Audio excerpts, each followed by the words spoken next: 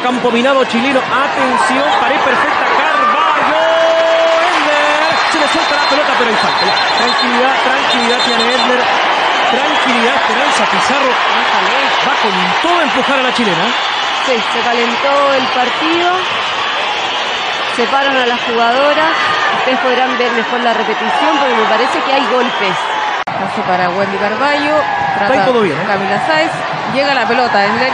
Y claro, le pone los pies eh, en la cara a la capitana de Chile. Por eso la furia de, que tiene Endler contra la uruguaya.